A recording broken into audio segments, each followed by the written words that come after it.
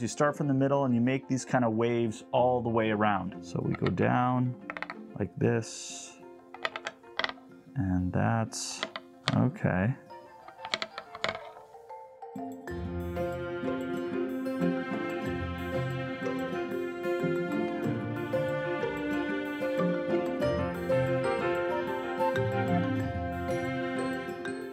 Well, we think it looks incredible, and we hope you think the same.